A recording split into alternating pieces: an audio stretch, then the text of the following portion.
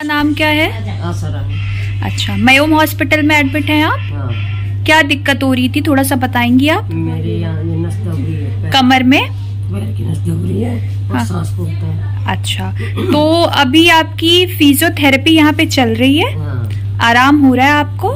ठीक है। कितने परसेंट आराम हो गया जब से आप आए थे और अभी में कितना फ़र्क है? थोड़ा सा बताइएगा काफ़ी। फ़र्क है। तो आप एकदम सेटिस्फाइड हैं फिजियोथेरेपी ट्रीटमेंट से अपने? हाँ। ठीक है। कोई कोई दिक्कत तो नहीं है। चलिए ठीक है। Thank you so much